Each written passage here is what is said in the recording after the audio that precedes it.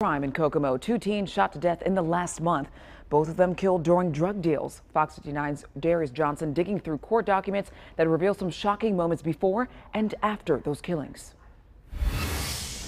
On December 8th, Kokomo officers found the body of 15-year-old Dalton Fisher on Mark Lane. He'd been shot multiple times. There's been uh, a, a, concern throughout the community with the uh, apparent increase in violence that we've experienced. Court documents reveal Fisher and his sister, 22-year-old Kylie Fisher, went to Mark Lane to sell marijuana. When they arrived at the Lincolnwood apartments, two men wearing hoodies hopped into the back seat. According to court documents, during the transaction, one of the two men pulled out a gun in an attempt to rob the siblings. When Kylie reached for her gun, officials say one of the two men fired his gun, hitting Dalton. With both of those involving teens, it is, it is concerning, but unfortunately is not anything that's unique to Kokomo, unique to Indiana. I mean, it's you know a, a problem throughout the state and throughout the country. The second teen Mayor Tyler Moore is referring to is 16-year-old James Gray Jr., who died at St. Vincent Hospital from a gunshot wound.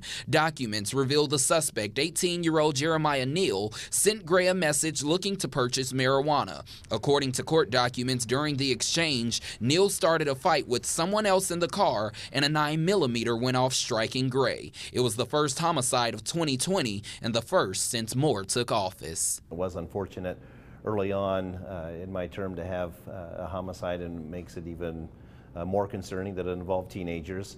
That type of violence knows no age, race, creed, gender. As he continues to pass the first month of his term, Mayor Moore says he's more hopeful police can continue solving crimes and wants to remind the community they can't do it by themselves. Part of that success actually involved uh, the community stepping forward and, and, and, assisting with leads and such. I mean, so uh, I think the community's heightened interest in being more part of the solution uh, has helped. In Kokomo, Darius Johnson, Fox 59 News.